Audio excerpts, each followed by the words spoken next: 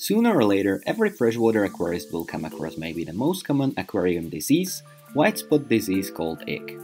In today's video, I'll show you what to do right after you'll first time observe ick in your aquarium. But first of all, relax. Ick is something like flu that every one of us at some point went through.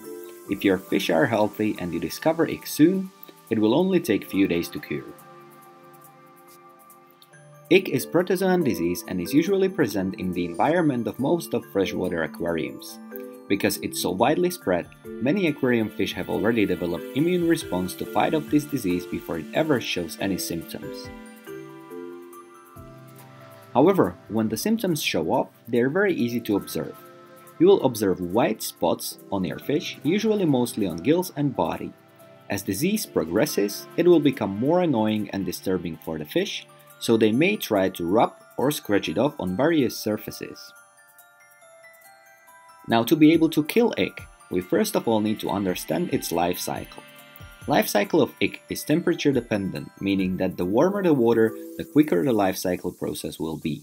In cooler water it may take several weeks, however in warmer water it may take only 4 to 5 days. At the beginning you'll observe the white spots on your fish, what is basically ick feeding of the skin of your fish. After a couple of days it will fall off to your substrate. There it will produce babies, called tomites, and soon will burst and release these tomites to the water. Tomites will again penetrate the skin of your fish and the cycle is repeated.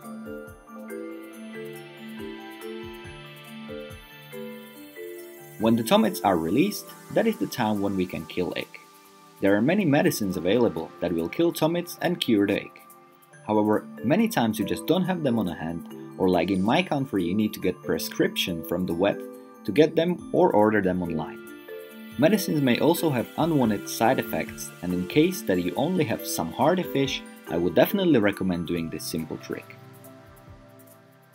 Add the heater into your tank and heat it up to over 30 degrees Celsius, what is around 85 degrees Fahrenheit. Increase temperature throughout the day slowly so the fish can acclimate to it.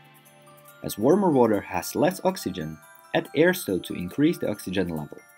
I would also recommend adding aquarium salt, as from my experiences it's very helpful. I'm adding 1 tablespoon of salt per 10 liters of water, what is a bit more than 2.5 gallons. At this temperature it cannot reproduce, what means that once it falls out of the fish, it cannot produce tomites and will die. Vacuum the gravel every day to remove the fallen ick out of your tank. After all white spots from your fish will disappear, keep heating up the tank and vacuuming the gravel for at least 5 days to secure that the treatment is really complete. As you can see, my fish are healthy again and I didn't lose a single one. I hope you've enjoyed the video and found the information you were looking for. If yeah, please make sure to subscribe my channel and I'll see you next time.